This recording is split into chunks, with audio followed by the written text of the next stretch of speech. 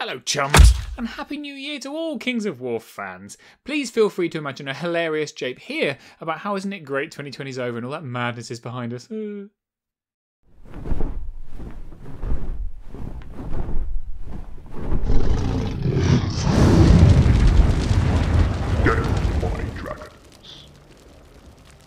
Well, Christmas may have been a strain for some, but Mantic have leapt athletically to the rescue with a series of holiday blogs rammed with upcoming content. There's one for each of their major franchises, but I think we all agree the only important ones are the ones with the sexy new Ratkin models in them.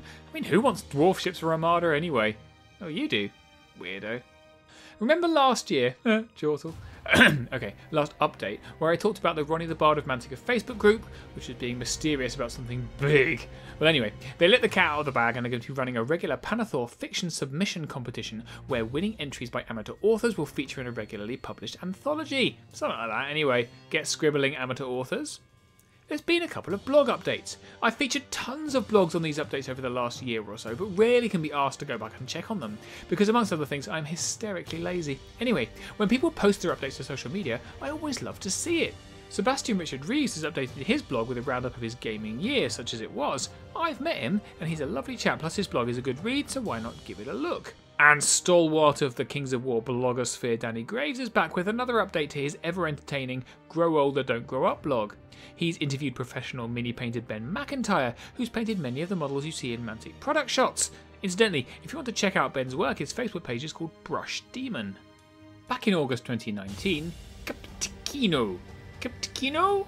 Mr. Kino, Kano, Kano, Ken, Ken, no? Anyway, he posted the start of his undead army in the Kings of War forums, which he was going to slow grow to 2,000 points. Well, he's still at it, with the latest post being a regiment of revenants. It's been so cool to see this army grow over time, and I hope he keeps up his updates.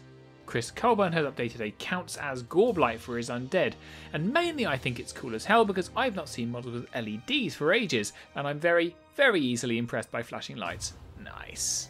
Ben Stoddard has been busy posting his latest work, and this Shadow Hulk particularly looks the part. Fab work and a lovely glowing orange. The fantastically named Cole Powers has whacked up a couple of pictures of his Silver Breeze cavalry, which are magnificently dynamic, plus I am a sucker for lush yellow armour.